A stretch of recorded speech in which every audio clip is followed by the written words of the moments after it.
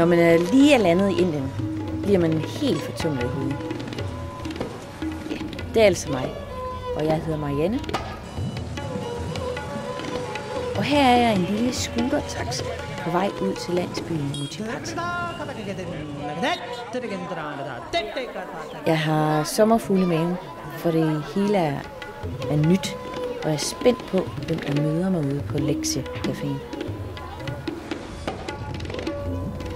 Det er varmt i Indien, og der er støve, og der er rigtig mange lugte. फिर भी नहीं माने तो बिल्कुल गुस्से से झड़क देना धटे धटे कटा धटे कटा धटे धटे कटा धटे कटा धटे धा धटे धा धटे धा ना धटे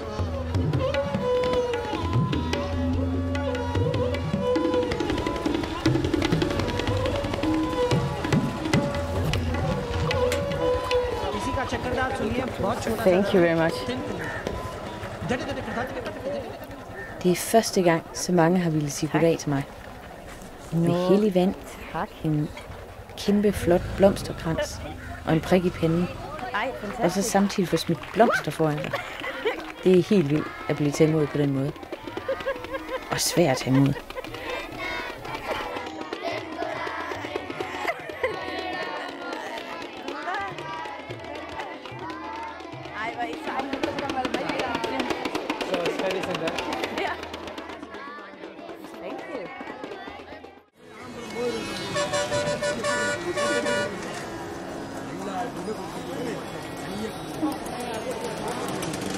For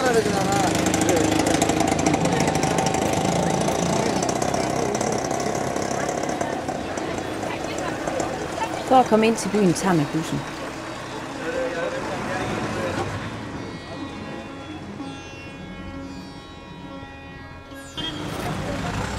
Og inde i byen kan man få alle mulige forskellige ting.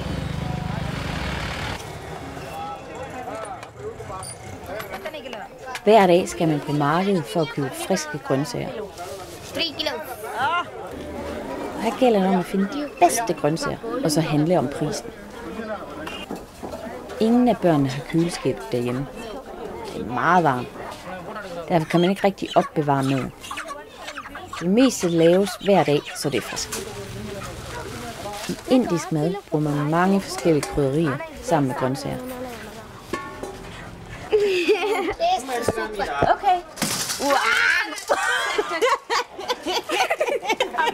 Det er ikke særlig tit, at de laver kød, for kød er ret dyrt. Vandet er noget, man henter ved den fælles vandhane og bærer hjem i store vandkrukker.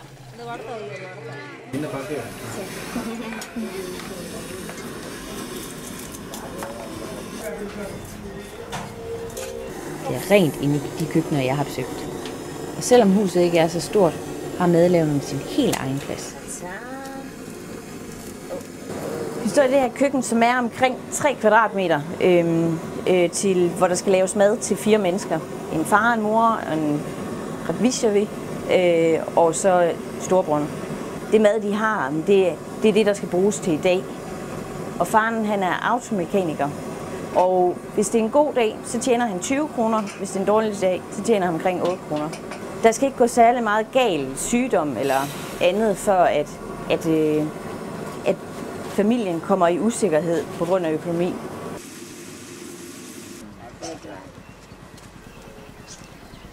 I Muchipati så jeg en enkelt kvinde, som bare boede i en jordhule. Hun havde ingen familie, så naboerne tog sig af hende. Tidligere var der mange, som boede sådan. Det er der ikke længere her i området.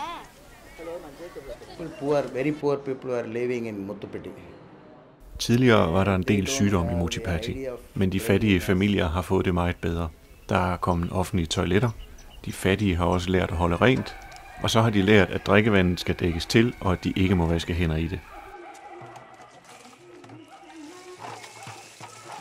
Mange børn fik for nogle øh, få år siden diarré, men nu er diarréen næsten væk, og der er kommet medicin. Vi har AIDS, men det har været meget værre. Oplysningen fra regeringen omkring AIDS gør, at jeg i min lægepraksis i dag møder nok halvt så mange tilfælde, som jeg gør for 10 år siden. Once they suspect or when they don't want uh, Et problem her har været abort af pigefoster. For nogle få år siden var det almindeligt, at vi i forbindelse med scanningen oplyste, om det var en pige eller en dreng. Det resulterede i øh, tilfælde af, at pigefoster blev aborteret, fordi det er så dyrt at gifte en pige bort. Det er ikke længere tilladt at oplyse om kønnet, og derfor er problemet blevet meget mindre. Men der bliver stadigvæk født lidt færre piger end drenge. Så det betyder, at der stadigvæk foregår abort af pigefoster her i området, selvom det naturligvis er strengt forbudt. Et af problemerne i de øh, fattige familier er, at forældrene ikke har overskud til at tage sig af deres børn. Derfor var jeg med til at tage initiativ til Lektiehjælpscaféen, og det betyder, at børnene nu får støtte til at fortsætte i skolen.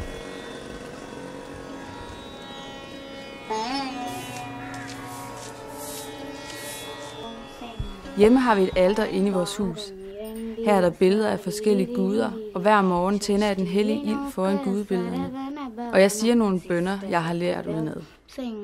Isvari er hindu, som næsten alle andre børn i lektiecaféen. I hinduismen er der mange guder. En af dem er Ganesh, elefantguden. Han er guden, som fjerner forhindringer, og guden, som hjælper en med at lære. I Muchipati er der et tempel for ham, her offrer præsten til ham om morgenen. Præsten tilhører Brahminerkasten, og ingen andre end disse mænd fra Brahminerkasten kan være præster i templet. Når maden er blevet offret til Ganesh og velsignet, deles noget af den ud til børnene. Der er masser af templer overalt i Indien. Hver landsby har hellige træer og køer også hellige for hinduer. Og inde i den store by Madurai er der et tempel for guden Shiva. Her kommer folk fra hele Indien for at bede.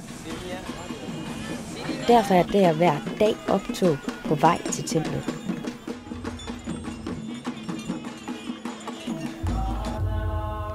Der foregår rigtig meget i et stort indisk tempel og overalt er der guder, og dem offrer man til, og bliver velsignet af. Og hver gud kan noget forskelligt. Alle figurerne fortæller en historie. Man skal vist være ret klog for at kende dem alle sammen. Hinduerne tror på, at man lever flere gange. Derfor gælder det for dem om at leve et ordentligt liv og ofre i templerne, så man får en god genfødsel i sit næste liv.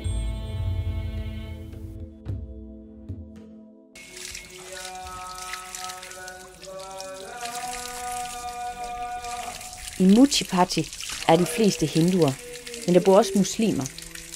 Og de beder fem gange om dagen i deres moské.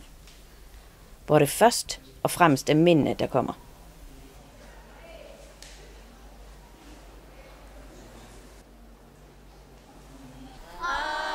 Der er også en lille kristen kirke.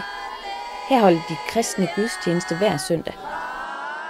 De synger salmer, beder til Jesus og læser i Bibelen. Sådan som vi kender det fra Danmark, selvom det lyder lidt anderledes.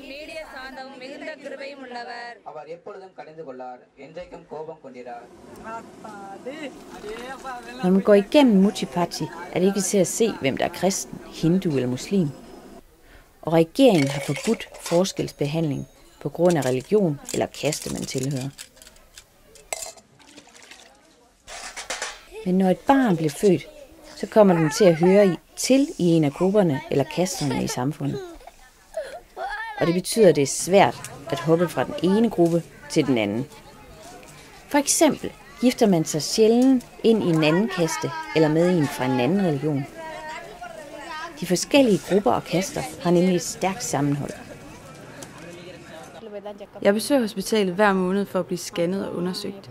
Før i tiden fødte kvinderne hjemme, og da jeg blev født, var det min bedstemor, som var jordmor. I dag føder alle på hospitalerne, og det koster omkring 2.000 rupees. Tidligere fik de mange børn, men vi har besluttet os for kun at få to børn, og de fleste får i dag et eller to børn. Vi har ikke fået noget at vide, om det er en pige eller en dreng. Men jeg vil godt have, at det er en pige, for jeg kan godt lide piger.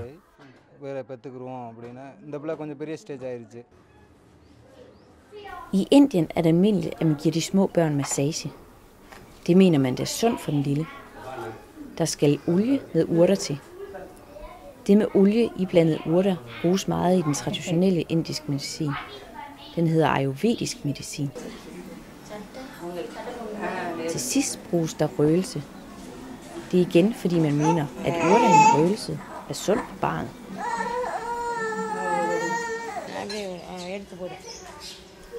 I Indien hænger mange traditioner sammen med, hvad man har lært af sine forældre eller bedsteforældre. Og det betyder noget, at man viser respekt over for det, man har lært. En dag tog jeg Isvari, Gayatri, Arunashalam og Radishvari med ind til byen. Her er masser af trafik på gaden, så det gælder om at sige sig rigtig godt for. Vi skal først ind for at finde den musik, vi danser til, så jeg kan tage musikken med hjem til Danmark. Inderne er helt vild med film, og i alle film er der masser af musik og dans. Og musikken spiller tit højt ud af højtaler på gaden.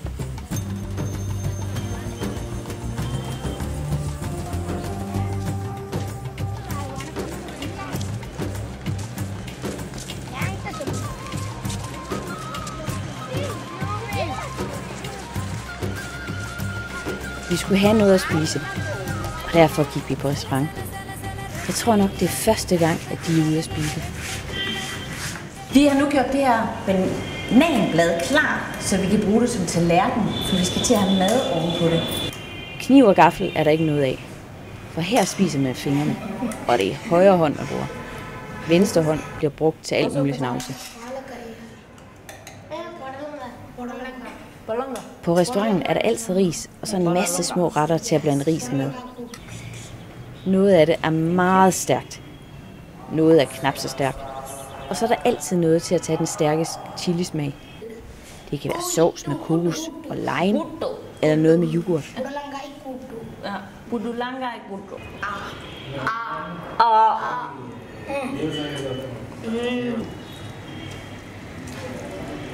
Så er mm. mm. den inde i munden.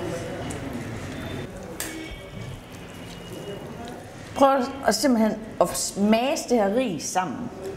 Og så lægge det her op, og så skub med tommelfingeren, så den ryger ind i munden.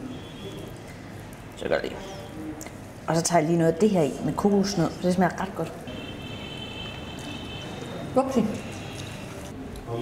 Åh, og der fik jeg noget stærkt. Er det indiansk food? Det er øh, ret meget stærkt.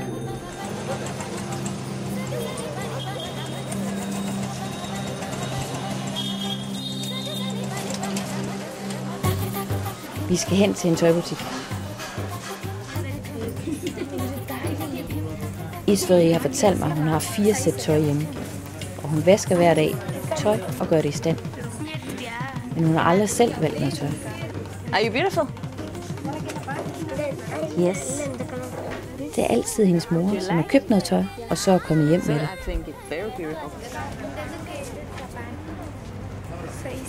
Well, hey, it's beautiful.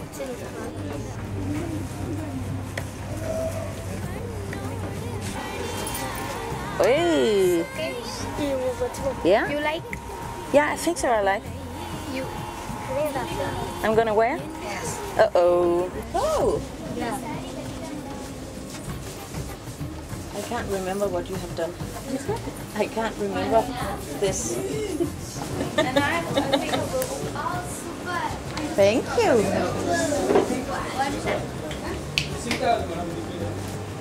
You scream. Yeah. But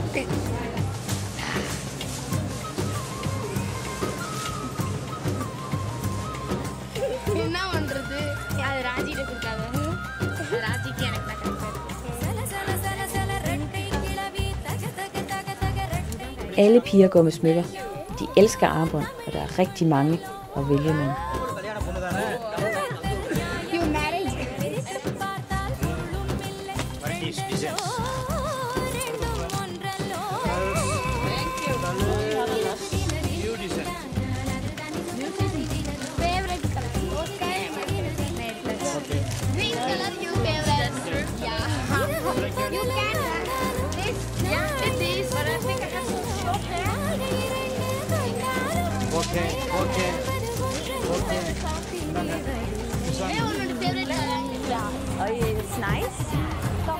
Det er en tradition i Indien, at kvinderne tager øh, blomster i håret, fordi de bliver smukkere. Og lige ledsat også, øh, der er de her grænse, der hænger her.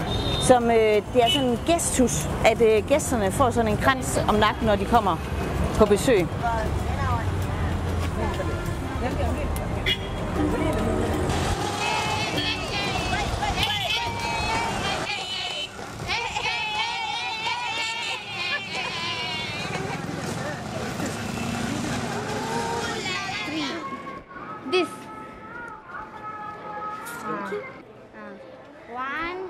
Det er nu blevet sidste aften i lektiecaféen, og jeg skal lære de sidste dansetrin. Og der er stadigvæk meget at lære. Der er en masse nye trin hele tiden. Og hænder, der skal drejes, fingre, der skal strille, fødder, der skal hoppe, hovedet, der skal vrikke. Og jeg er meget glad for, at der er nogle piger, der vil hjælpe mig. Ellers var jeg gået helt koldt.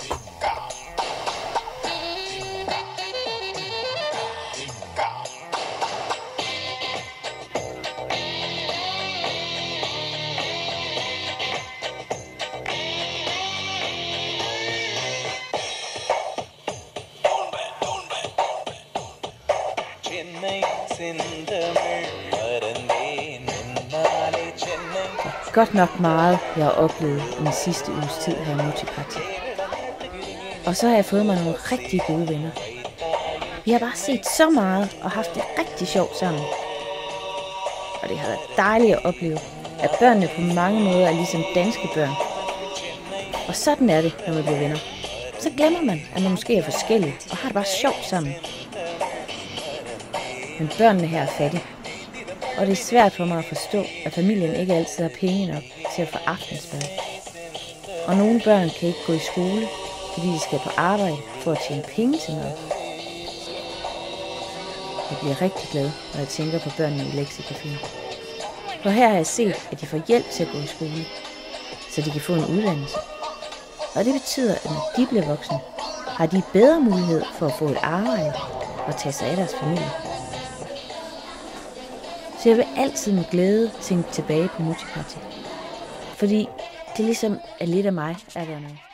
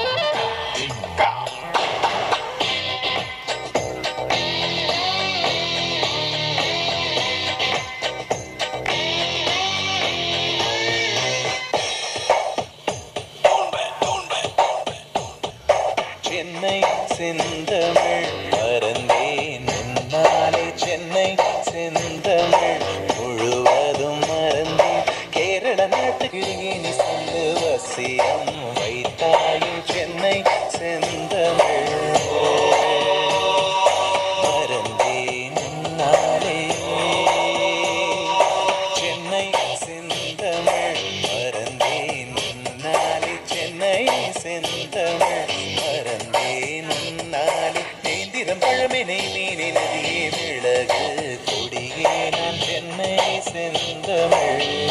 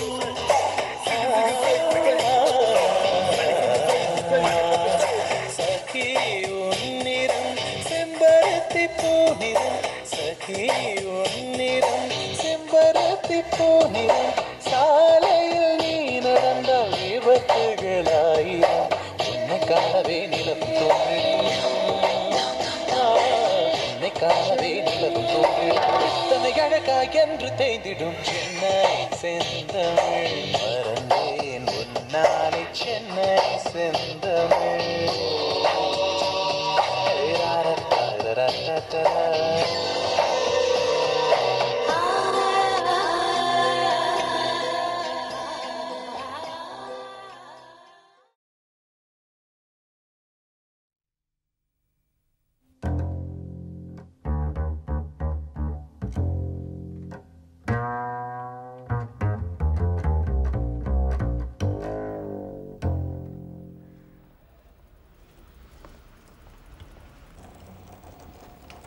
Tænker vi over det, hvad var kirken uden musik? Der er jo altid et orgel. Orglet en pibekoncert med himmelsk lyd. Ofte sidder organisten højt oppe, og deroppe fra krydrer han præstens ord.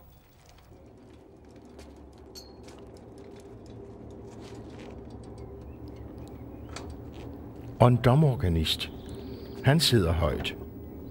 Han skal ikke bare bruge hovedet, men også begge hænder og fødderne med.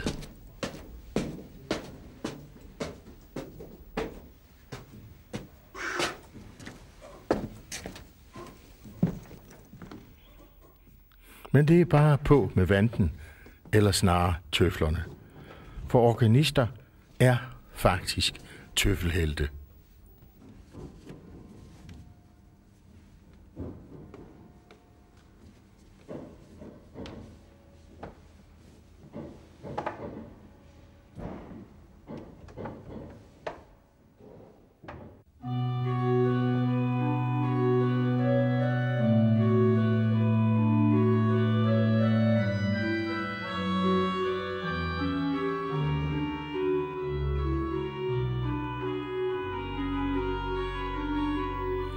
Organisten kan fylde hele kirkerummet med lyd.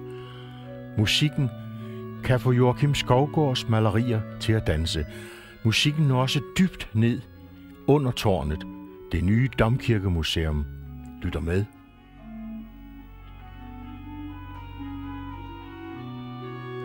Erik Glippings rustning? Nej, det er det ikke. Denne blev for 400 år siden brugt ved begravelsesceremonier. De var godt rustet.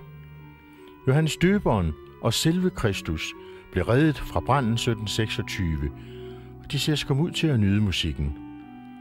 Gamle Moses, der slæber på de ti bud, han lytter også med. Verden har altid kendt til krig og brand, sådan også her. Viborg Domkirke, hvis nok 1567 efter en brand. Det var et lyn. Og sådan så den ud efter branden 1726, lidt barokt, men det var byggesjusk. Senere faldt den nærmest sammen. Domkirken, som vi kender den i dag. Den gamle rev ned, den nye rejst på fundamentet, det er 125 år siden. En stenkirke, grå majestæt. Den brasser næppe sammen, kvadersten, sikke et arbejde.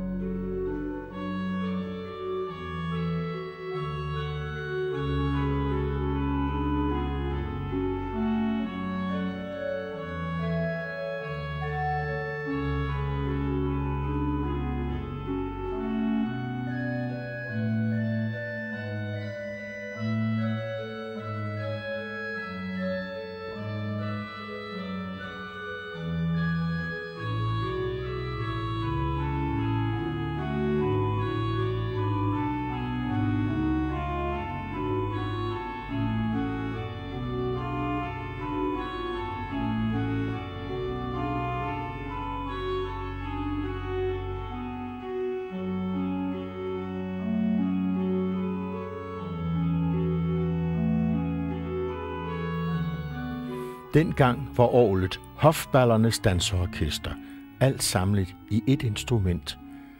Det er stadig fyldt med symfonisk lyd, trompet, fagot, basuner, skalmeje og en masse andet.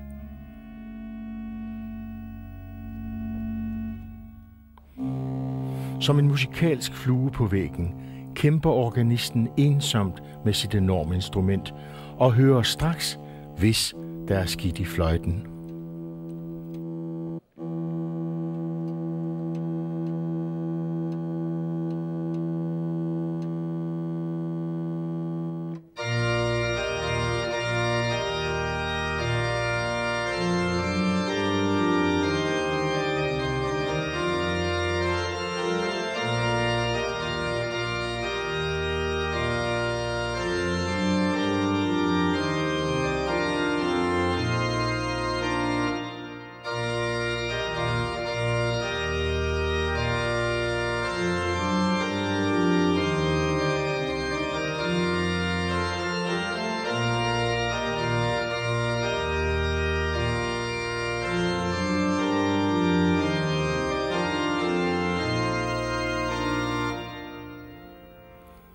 Orgel og domorganist kan lukke himlen op for os hver eneste søndag.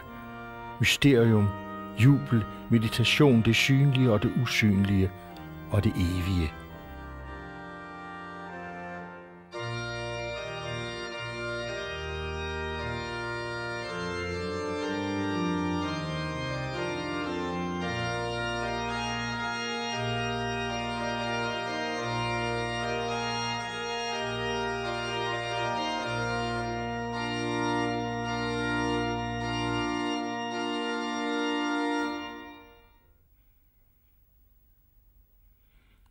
Det skal blive godt at komme hjem og hvile fødderne.